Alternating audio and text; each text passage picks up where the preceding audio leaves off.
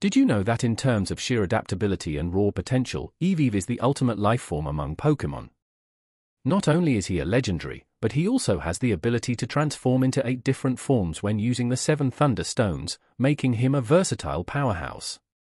Standing at a manageable height and weight, Eevee can handle any challenge thrown his way, and with his impressive base stats for HP and access to moves like Psycho Cut and Shadow Force, you better believe he can fight for what he wants.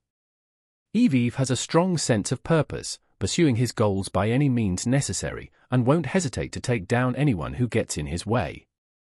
Due to his adaptable nature, there's no doubt in my mind that Eevee would excel in any situation. He hates wasting time, losing, and especially hates being underestimated.